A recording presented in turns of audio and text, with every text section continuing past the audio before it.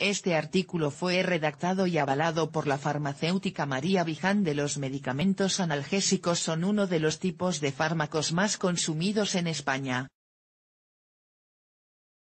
Etimológicamente la palabra analgésico proviene del griego, cuyo significado es carencia de dolor. Por lo tanto, podemos decir que un medicamento analgésico debe su utilidad a la capacidad que tienen de disminuir la sensación de dolor, la cual tiene por definición la experiencia sensorial y emocional desagradable asociada a una lesión real, potencial o descrita en términos de dicho daño. Antes de entrar en detalle con los diferentes medicamentos analgésicos que existen hoy en día y su clasificación, aparte de conocer la definición de dolor, es importante entender algunos otros aspectos de este término para poder comprender con más facilidad la importancia de los medicamentos analgésicos. ¿En qué consiste el dolor?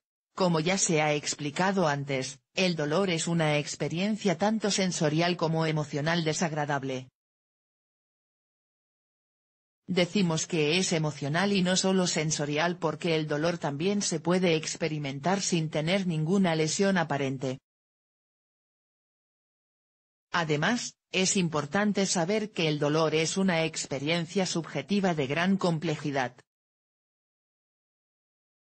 presenta un componente nocioceptivo responsable de la transmisión de estímulos al sistema nervioso central. Estos estímulos permiten defendernos de situaciones peligrosas para el organismo.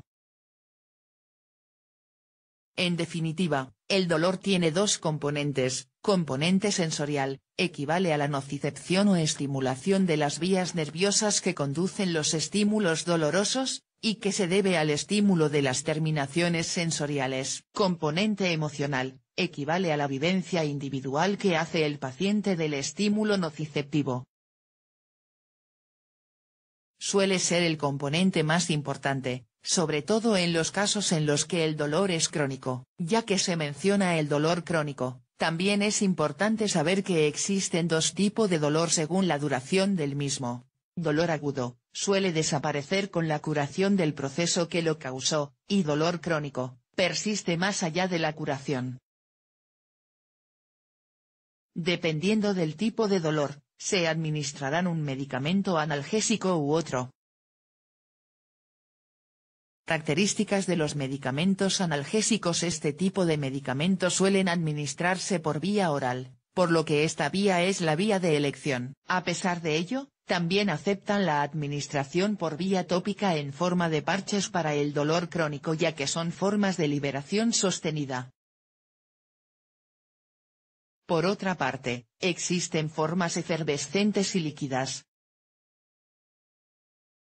Ambas dan lugar a concentraciones plasmáticas adecuadas con más rapidez que las formas sólidas. En el caso en el que la vía oral sea imposible o que se necesite un efecto inmediato, se pueden administrar por vía parenteral. Otras dos formas de administración es la vía rectal y la tópica en pomadas. En cuanto a la primera, presenta una absorción más inexacta en comparación con otras vías. Por otro lado, los analgésicos administrados por vía tópica, tienen una eficacia limitada, ya que dependen de la correcta realización del masaje a la hora de administrar la pomada. Clasificación de los medicamentos analgésicos Podemos hacer una clasificación general de los analgésicos agrupándolos en, primarios, secundarios, coadyuvantes,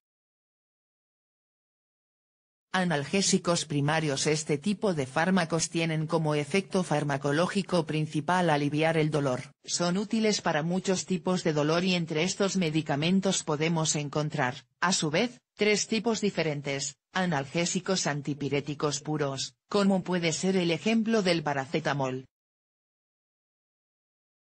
AINES o antiinflamatorios no esteroideos, además de analgésicos son antiinflamatorio. En este grupo se incluye el ibuprofeno y el ácido acetil salicílico, opioides, también los hay de distinta naturaleza, pura, parcial, mixta. Un ejemplo puede ser la metadona. Por otra parte, es importante tener en cuenta que estos fármacos pueden producir efectos adversos en nuestro organismo. Son frecuentes las náuseas, los vómitos, el estreñimiento y la sedación entre otros.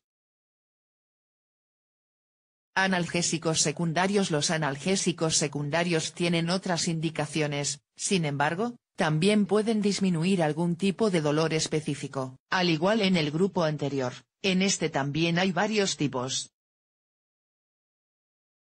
Podemos encontrar los antidepresivos como la amitriptilina o la clorimipramina, los antiepilépticos, corticoides, vasodilatadores y vasoconstrictores, relajantes musculares y anestésicos locales. Analgésicos coadyuvantes En cuanto a este grupo, mencionar que son fármacos que se administran a la par que los medicamentos analgésicos primarios, y secundarios con el fin de potenciar sus efectos o para contrarrestar alguno de los efectos secundarios de los mismos.